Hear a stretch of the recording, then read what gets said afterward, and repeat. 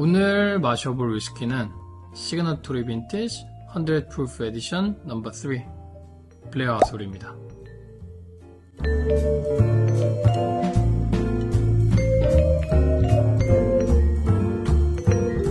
최근 한 2주 사이에 가장 핫했던 위스키를 뽑으라면 여기에 있는 Signatory Vintage 100 Proof Edition일 거예요. Signatory가 새로운 라인업을 낸 거죠. 미국 proof가 100 proof면 50도지만 영국 proof로 하면 57.1도거든요. 100 Proof 시리즈로 넘버 1, 2, 3, 4 4개의 위스키를 발매를 했어요. 넘버 1이 Ben Nevis 4년, 넘버 2가 Tullibardine 8년, 넘버 3가 여기에 있는 Blair Athol 9년, 넘버 4가 Ardmore 13년. 사실 이 제품에 대해서 처음으로 언지를 준 건 술장닷컴 사장님이셨어요. 독일 도매에 이제 이 제품이 들어오기 시작했다는 얘기를 들었고 가장 눈길을 사로잡는 게 바로 여기에 있는 Signatory Blair Athol이었어요. 일단 색깔부터가 미쳤죠. 9년에 이 색깔이 말이 됩니까? 다른 제품들보다 이제 요거를 먼저 신경을 쓰기 시작했고 과연 맛있을까를 고민하는 사이에 독일 도매에도 바로 Blair Athol부터 사라졌고요. 그 가열찬 속도를 보고 일단 독일에 있는 먼저 판매한다고 올라간 재고들을 봤죠. 40유로 정도 가격이었어요. 정말 재고가 분 단위로 사라지는 게 막 보이는 거예요. 위스키 온라인닷컴 영국에 있는 사이트가 아마 총판 같은 사이트였나 봐요. 그나마 거기 있는 제품이 조금 남아 있었는데 40유로 언저리로 올라와 있던 독일에 있는 제품은 싹 다 끝났고 영국 총판에 있는 제품을 구매를 하게 됐죠. 제가 독병은 잘 안 사는 편이고 특히나 Signatory Vintage는 조금 조심하는 편이에요. 독병사들 중에서도 조금 폭탄이 많은 편이라고 알려져 있기는 하죠. 그만큼 맛있는 것도 많아요. 제품이 워낙 많으니까. 요거는 제가 37.5파운드 영국 가격으로 근데 거기서 VAT를 빼고 구매를 했으니까 한 그렇게 딱 품절이 되고 나서 그러니까 그 다음 날부터 바로 시작된 일이야. 재고가 남아있는 집들은 일제히 가격을 올리기 시작했어요. 60유로, 70유로, 80 유로, 90유로 때까지도 나온 지 한 2, 3일 만에 가격이 두 배로 떡상해버린 Blair Athol. 이 간장 색깔 위스키가 과연 얼마만큼의 가성비를 보여주는지 다른 쉐리 위스키들이랑 한번 비교를 해서 마셔볼게요.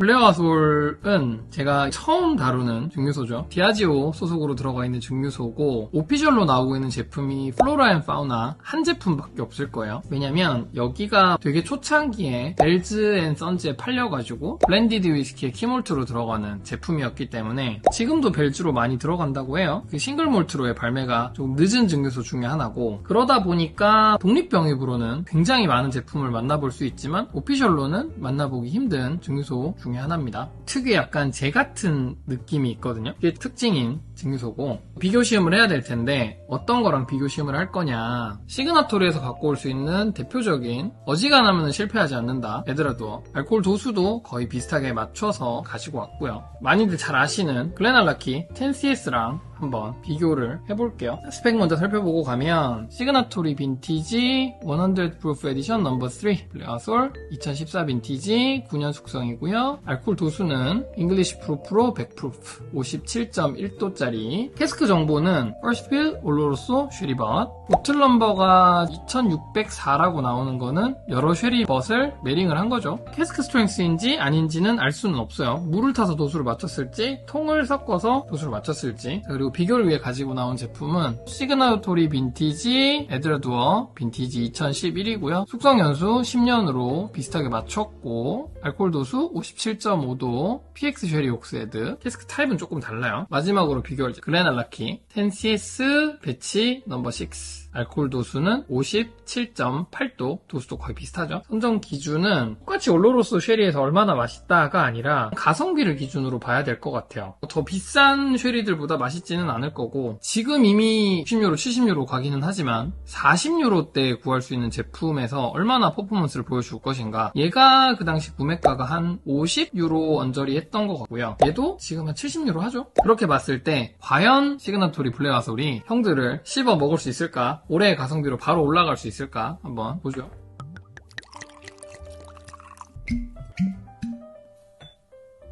아 벌써 초콜릿 향이 지금 다 색상들이 어마어마하죠. 전부 9년에서 10년 정도 숙성 기간이고 거의 다 cask strength에 가까운 57도 언저리의 알코올 도수들 가지고 있고 Blair Athol은 색깔만 봐도 9년에 이 색깔이 쉽게 나올 수가 없죠. Edradour도 어디 가서 간장으로 안 빠지는데 뭐 거의 차이가 없거나 Blair Athol이 더 진하다. 이런 걸 봤을 때 wet cask라고 하죠. 어, 쉐리 cask의 정의에 대해서 조금 얘기를 해보고 넘어가면 사람들이 예전 쉐리 cask랑 지금 쉐리 cask랑 다르다라는 얘기를 많이 하는데 지금 쉐리 cask는 다 쉐리 seasoned cask 아니냐 라면서 쉐리 seasoned cask는 별로인 거고 정말 쉐리 숙성에 사용됐던 bodega의 solera cask가 좋은 cask라고 생각하시는 분들도 조금 계세요. 예전에 쉐리 cask라고 하는 것들은 bodega에서 썼던 cask가 아니고 진짜 맛있는 쉐리를 영국으로 가지고 오기 위해서 썼던 운송용 cask들이에요. bodega에서 나오는 solera cask는 30년, 40년 빨아서 쓰기 때문에 이미 거기는 나무 맛이 다 빠져버려서 cask로서의 제대로 된 역할을 수행하기에는 조금 한계가 있어요. 그러니까 나무 맛은 거의 없기 때문에 오히려 이제 정말 우리가 좋다라고 하는 cask들은 단순히 seasoning을 위해서 만들어진 쉐리가 아니라 판매용으로 만들어진 맛있고 좋은 쉐리를 영국으로 싣고 가면서 seasoning이 됐던 거를 비우고 쓰는 거죠. 근데 지금은 맛있는 쉐리 위스키들 다 병입을 해서 외국으로 날아가기 때문에 통 단위로 옮겨지는 경우가 없어요. 그러니까 예전 이나 지금이나 쉐리 seasoned인 거는 똑같아요. 거기에 들어가는 쉐리의 quality가 달라진 게 훨씬 더 중요한 요소라는 거죠.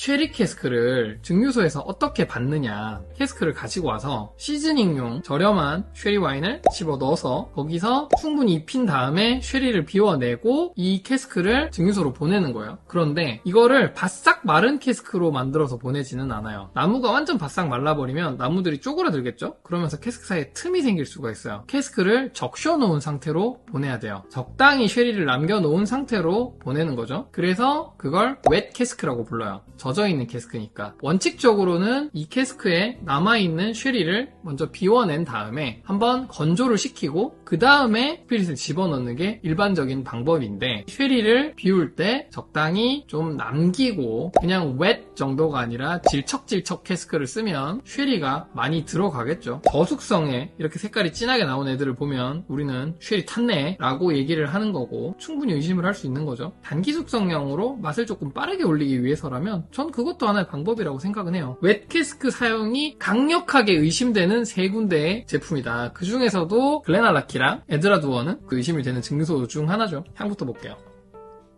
음, 포도향. 블레어아솔 특유의 약간의 재 같은 향도 좀 있어요. 막 초콜릿이나 다른 복잡한 향까지는 많이 넘어가진 않는 느낌. 에드라두어.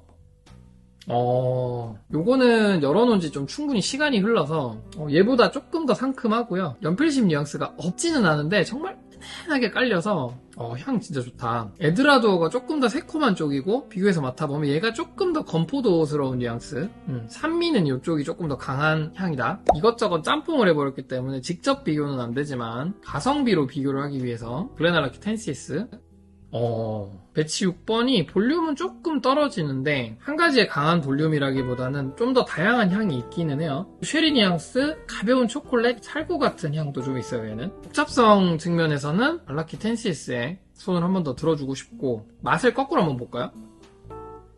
음 맛있어 맛있어요 아무리 욕을 해도 ten CS 맛있어요. 쉐리 influence만 강하게 도드라지는 게 아니고 바닐라나 단맛도 생각보다 꽤 많이 올라와 있어요. 아주 진하게 뽑아낸 쉐리만의 느낌은 아니다. marrying이 충분히 됐죠. batch 6번이니까. 쉐리들보다 뒤에 달콤한 바닐라 느낌이 훨씬 더 강하게 느껴져요. 오늘은. 에드라두어. 음?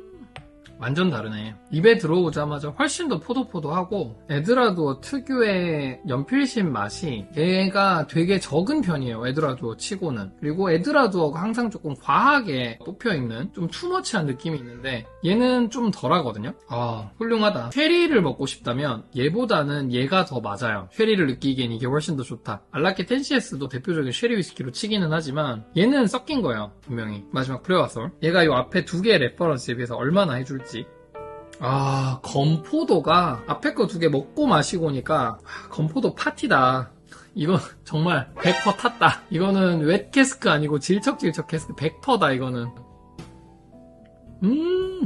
아, 아, 쉐리 진짜 진하네요. 이 가격대에 이 정도 볼륨과 intensity면 괜찮은데요? 정말 포도 잼 같고 뒤쪽에는 커피 뉘앙스도 남고 약간의 탄닌감이나 블레어아솔 특유의 살짝의 재 같은 느낌들도 있고 정말 강렬해요. 조금 아쉬운 게 있다면 앞에 두 개에 비해서 쉐리의 영향과 spirit의 영향이 조금 겉돈다. 한계는 느껴지는데 이 가격대에 이 정도로 intense한 쉐리 위스키를 만날 수 있을까? 쉽지는 않을 것 같거든요. 이거를 100유로, 200유로라면 절대 좋은 위스키라고 말은 못하겠지만 이게 40유로 너무 괜찮은데요? 가격 보정을 하면 분명히 좋은 위스키고 올해 가성비로 손꼽아도 될 정도라는 느낌이 분명히 들어요. 나무에서 오는 오크 spice도 굉장히 많고요. 뭔가 탄닌감? 입안을 좀 쪼여주는 느낌도 많거든요. 제가 보기에는 더 놔뒀으면 과숙이 돼서 목초액이 됐을 수도 있을 것 같아서 좀 빨리 뺀 제품일 것 같아요. 근데 그런 만큼 9년짜리 제품이라고는 믿을 수 없을 만큼의 두께. 그거는 인정하지 않을 수가 없다. 직관적으로 딱 먹으면 와 이거 sherry bomb이라니까. 이 가격이면 안 살 이유가 없다. 맛있다.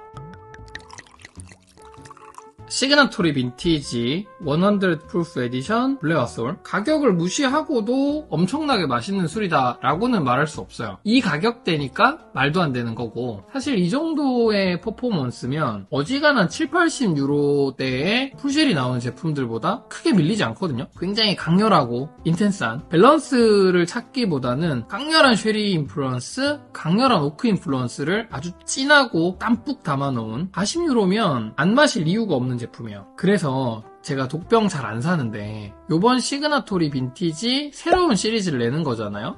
100 Proof Edition으로 다 샀어요. Ben Nevis, Ardmore 다 구매를 했기 때문에 요거 다 들어오는 대로 나머지도 한번 리뷰를 해볼 거고 55유로에서 60유로까지라면 저는 한번 도전해 보시는 것도 나빼 근데 막 70유로 80유로 넘어가면 굳이 그 돈 주고 살 것까지는 아닐 것 같고요. 그 가격에 구할 수 있으시면 구해보시고 요거 40유로 under에 매물이 있을 때 저희 멤버십 방에는 카톡방에서 미리 말씀드리고 사실 만한 분들은 많이들 사셨어요. 실시간으로 빠지는 물건들은 제가 글을 쓰는 것도 한계가 있고 오픈을 다 해버리면 너무 빨리 빠져버리니까 이런 것들 저희 멤버십 방에 공개를 하고 있으니까 궁금하시면 지갑이 탈탈 털리고 싶으시면 멤버십 방 들어오셔서 같이 정보 보시는 것도 나쁘지 않은 방법이라고 생각합니다. 자, 그래서 오늘의 Blair Athol 100 Proof 시음은